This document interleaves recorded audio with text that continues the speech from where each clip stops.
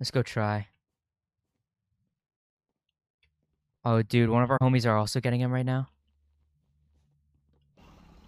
Ooh!